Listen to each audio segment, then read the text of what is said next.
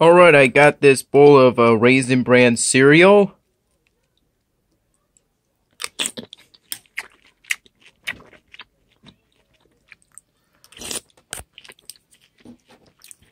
That was just about all the Raisin Bran cereal I had. Oops. And then I've got this parfait I made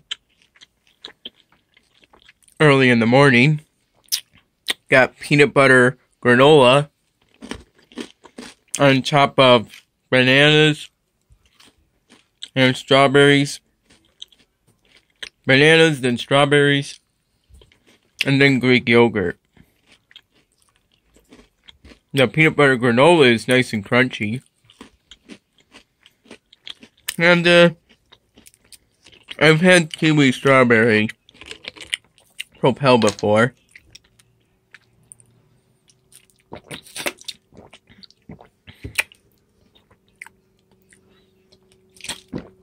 So I'm used to the flavor, but it's a good flavor.